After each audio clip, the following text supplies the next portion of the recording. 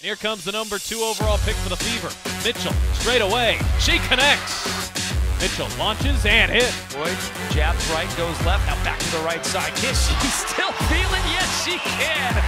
Jewell Loyd is unconscious right now. Quigley for three knocks it down. Quick trigger, Quigley. Toliver going left between the wickets. Step back. Free! Kristi Toliver. What a shot. Renee. Bang! Boy, Renee Montgomery.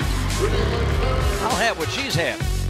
Catch and shoot.